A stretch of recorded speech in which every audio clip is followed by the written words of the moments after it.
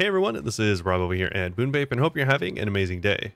Today I'm going to bring you all a quick video on my new favorite place in order to get up my gear score or my high watermark, whatever you want to call it. And this is definitely not new. As you can see behind me, this is the tentacle spot at the Eternal Pool. So if you do enjoy this video or if it does help you out at all, please make sure to leave a like and subscribe. I really do appreciate it and it does help the channel get noticed.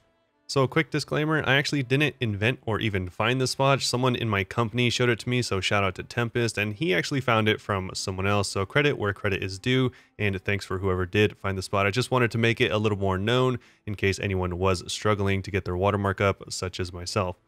And also, before I get to mention, if you do want to see me completing the parkour jump arena in order to get here the safe way, if you are coming with just one or two people, then I'm going to have that at the end of the video, so feel free to skip around if that's all you're interested in. I will have that completely uncut and without commentary so you can see exactly how many times it takes me to mess up. So with that out of the way, let's jump straight into the video. So like I said in the beginning of the video, this is going to be at the Eternal Pool, and if you've been there before, you know it's in Reekwater. If not, here it is, it's in Reekwater. So once you get to the actual settlement here, you simply go a little bit north. Now there's going to be two ways to get here. One of them is kind of like a jump puzzle, and the other one is simply clearing out an elite zone, but it is a higher level elite zone, as you can see here, level 64. And the other way is going to be through Lazarus. So you don't actually do Lazarus or anything like that, but going up here, you can do a jump puzzle to get around the cliffs and that'll take you there. This is usually the way I like to go if it's only me and a couple of friends, as clearing this place, the Eternal Pool itself, is actually fairly treacherous and is straightforward, but can be pretty dangerous. So no matter which route you take, you're going to end up where I am right here. Now this is going to be the very end of the Eternal Pool run.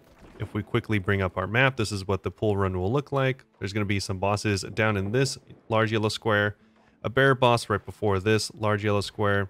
And then once you get to the long yellow rectangle at the very end, this is the spot that we are going to be farming. Now, there are a couple ways to make this farm a little bit faster. The first one is actually by standing where I am now. So by standing here, you actually are going to speed up the respawn process of the tentacle. And the tentacle usually spawns right there. You can actually see him whenever he spawns just by being in this spot. The main importance of actually being in this spot is if you are far enough away from this boss, he actually spawns in as little as two minutes.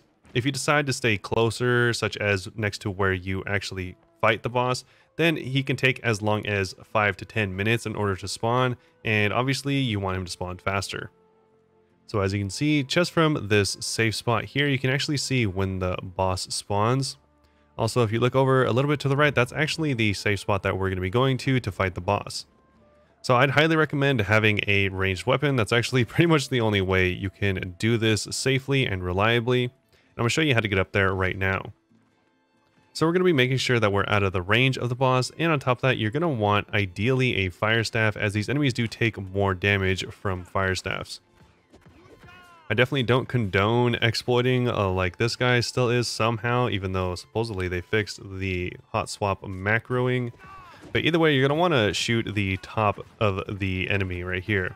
This essentially gives you some headshot damage. If you were to shoot the lower part down there, you actually deal significantly less damage and every once in a while the enemy will get knocked over like this.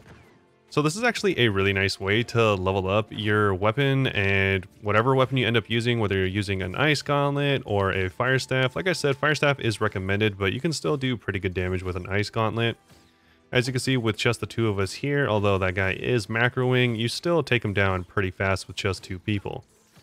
Like I said, you can do this solo, but I honestly wouldn't recommend it as it can take a really long time, so Usually you can find another person here that wants to do this with you. Whenever I come here, usually there's someone just hanging out and we end up grouping up together. So now that whenever you do take them down, you just run over here, get the loot, and I wouldn't really worry too much about the enemies here. They are annoying, but they usually aren't very lethal. So once you're done with that, you jump over here, run to this corner and you can either sit here, stand here, or lay down like him. And honestly, this is going to be your safe spot. Like I said, you can see whenever the boss spawns again, and then also that spot over there. You can also get all the way onto the very top rocks up there. I know some people enjoy that as well. either of these options is going to work for you. So this boss can spawn some very high level gear all the way up to 600, I believe. Personally, I haven't found any 600 gear from this boss, but I have gotten some pretty high level stuff, including 594 gear. But even recently, just in these couple of runs, I got some 584s, 578s, as well as 579. So this boss definitely has potential to drop a 600, especially being a 66 named elite. So I would highly recommend trying and checking this out, especially if you need a little boost for a couple of your watermarks. So if you are a solo player and looking to only do solo content, then I'd still recommend checking out my solo video where I still would recommend Fei the Last Protector as you see me fighting him here. That is from Spiralet Tower in the Shattered Mountains. I would still recommend this spot over the one that I'm currently at being the Tentacle. As this spot you can't really do solo, you can, it just takes a lot longer and I think you're going to get better results over at Spiralet Tower.